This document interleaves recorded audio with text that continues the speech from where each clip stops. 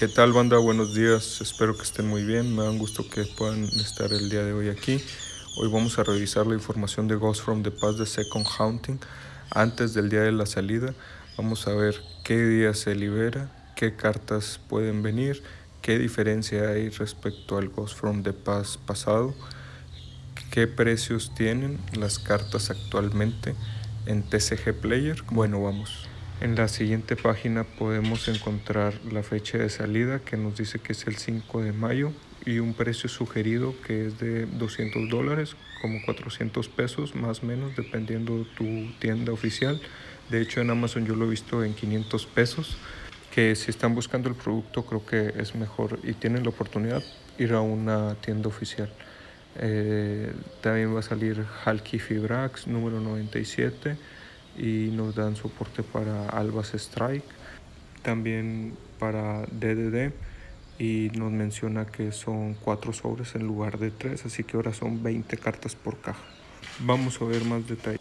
Aquí en esta otra página, todos los links los voy a dejar en la descripción. En esta otra página podemos encontrar detalladamente eh, cierta información, como podemos ver, incluso la cobertura o qué tipo de imagen vamos a encontrar en cada sobre y también nos podemos eh, encontrar la información de qué tipo de cartas van a venir, eh, a qué soporte se le van a estar dando y a qué, a qué personaje pertenecen. Entre más información y puntos que pueden revisar en la página directamente, aquí vemos las cartas nuevas e incluso las cartas que son reprint. Bueno, Ahora estamos en TCG Player y podemos ver las cartas en orden de relevancia. Vemos al Uber en primer lugar, número 38, Manju, eh, varias cartas que sirven para diferentes estrategias y estas son las que más eh, van a ser eh, pedidas.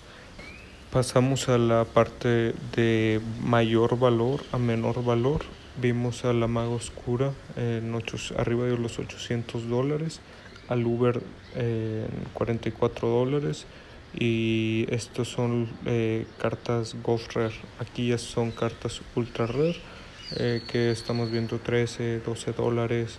Eh, ya empiezan a, a, bajar. Esto es apenas la primera página de TCG Player y los precios aquí se van a estar actualizando dependiendo cómo eh, cambia la demanda. De esta semana a la siguiente tenemos la salida del producto. Me parece que si tienen oportunidad de adquirir una caja, eh, pues es buena oportunidad. la fecha de, de, venta del producto luego suelen aumentar de precio. Este, yo si tengo una oportunidad estaré abriendo una y se los compartiré. Eh, pues bueno, eso sería todo. Hasta luego.